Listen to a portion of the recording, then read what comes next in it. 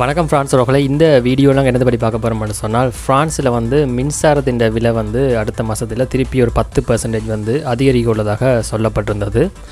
இப்போ திருப்பி என்னதான் சொன்னால் அடுத்தடுத்த வருடங்களில் வந்து இது மாறி அதாவது குறையும் அப்படின்ற மாதிரியான ஒரு தகவல் அரசினால் கொடுக்கப்பட்டிருந்தது.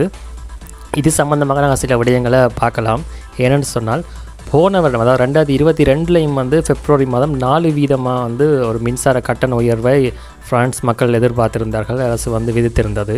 அந்த நேரத்தில் வந்து கொடுக்கப்பட்டிருந்தது இது ரெண்டாயிரத்தி இருபத்தி மூன்று முழுமைக்குமே வந்து இந்த நாலு வீதம் தான் இருக்கும் அப்படின்னு சொல்லி. ஆனால் அது வந்து இப்போ பிள்ளையாக்கி இருக்கிறது அதாவது அரசாங்கம் என்ன சொல்லிச்சோ அதை வந்து செய்யலை. அரசாங்கம் சொன்னதை தாண்டி ஃபெப்ரவரி மாதம் வந்து ஏற்கனவே இந்த ரெண்டாயிரத்தி இருபத்தி மூணு ஃபெப்ரவரியில் பதினைந்து வீதம் வந்து கட்டண மின்சார கட்டண உயர்வை பிரெஞ்சு அரசாங்கம் விதித்திருந்தது மக்களுக்கு. இப்போ திருப்ப வந்து ஆகஸ்ட் முதலாம் தேதியிலேருந்து வார மாதம் முதலாம் தேதியிலேருந்து இன்னொரு பத்து வீத க மின்கட்டண அதிகரிப்பை கொடுக்குறார்கள். இப்போவும் வந்து ஃப்ரான்ஸ் அரசாங்கம் சொல்லுது ரெண்டாயிரத்தி இருபத்தி நாலு இருபத்தி ஐந்தில் வந்து இது இதுவரை ரெண்டாயிரத்தி இருபத்தி நாலு வரைக்குமே வந்து முழுமையாக இதுதான் நம்மளில் இருக்கும் அப்படின்னு சொல்லி சொல்லுது.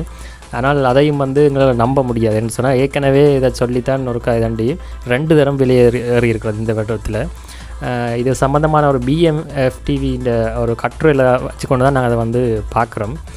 அந்த கட்டுரையின்படி வந்து சொல்கிறார்கள்னு சொன்னால் எதிர்வர்ற காலத்திலையும் வந்து அரசாங்கம் சொல்கிற தாண்டி தான் வந்து இந்த மின்சார கட்டண உயர்வுகள் வந்து அதிகரிச்சிருக்கும் அப்படின்னு சொல்லியும் இதற்கும் உக்ரைன் போருக்கும் ஒரு சம்பந்தம் இருப்பதாகவும் அவர்கள் வந்து ஒரு கட்டுரையை சொல்லியிருக்கிறார்கள். நாங்கள் அந்த அந்த கட்டுரையின் அடிப்படையில் பார்க்க உக்ரைன் போர் தொடங்குறதுக்கு முன்னம் வந்து மெகா பவர் வந்து கிட்டத்தட்ட ஐம்பதுலேருந்து எழுபது யூரோஸ் தான் ஒரு இப்போ மெகாவாட் ஹவர் வந்து விற்கப்பட்டிருக்கின்றதாம் இப்போ வந்து அதே விலை தொண்ணூறுலேருந்து இருநூறு யூரோஸுக்கு வந்து மாறி இருக்கிறது அதாவது அதிகரிச்சிருக்குன்னு சொல்லி சொல்லப்படுகிறது. இதை தாண்டி வந்து பல்வேறுபட்ட அடுத்த கட்டமான சக்தி மாற்று சக்தி வளங்களை வந்து ஃப்ரான்ஸ் அரசு பரிசோதித்து வருவதாகவும் சொல்லப்படுகிறது. இதெல்லாம் சரியாக வரைக்க இந்த விலை வந்து குறையலாம் அப்படின்னு சொல்லி சொல்கிறார்கள். ஆனால் இந்த கட்டுரையின்படி இந்த ஆய்வு கட்டுரையின்படி இல்லை.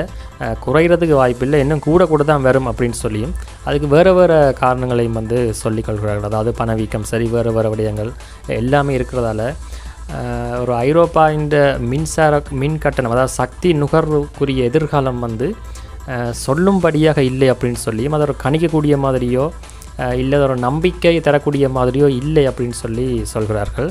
அது ஏன்ன்றதுக்குரிய காரணங்கள் தான் இந்த இந்த பிரச்சனைகள் தொடர்ச்சியான அரசியல் பிரச்சனைகள் சரி பணவீக்க பிரச்சனைகள் சரி சமுதாய பிரச்சனைகள் சரி அதை விட இந்த இமிக்ரண்ட் வாரதை கூட அதுக்கு மீத தொடர்படுத்தி தான் சொல்கிறார்கள். அப்படி எல்லா பிரச்சனைகளையுமே வந்து தொடர்படுத்தி இந்த ஒரு- பிரச்சனையே பெருசாக்கி விடுவார்கள். அது ஏன் எதுக்கு அப்படின்றது வந்து உங்களுக்கு தெரிய போகிறது இல்லை ஏன்னா நீங்கள்லாம் ஓடிக்கொண்டிருப்பீங்க உங்களுக்கு என்ன? இது இதை ஜோசி கொண்டிருக்கக்கிடையில் ரெண்டு காசு உழைச்சா அந்த பில்லை கட்டிட்டு போகலாம் அப்படின்றது தான் உங்களோட இதாக இருக்கும். அப்போ இது சம்மந்தமாக இதுதான் தகவல். இது மேலதிக தகவல்கள் வந்து வேறு தெரிஞ்சிருந்தால் நீங்கள் வந்து கமெண்ட் செக்ஷனில் தெரியப்படுத்துங்கள். நன்றி.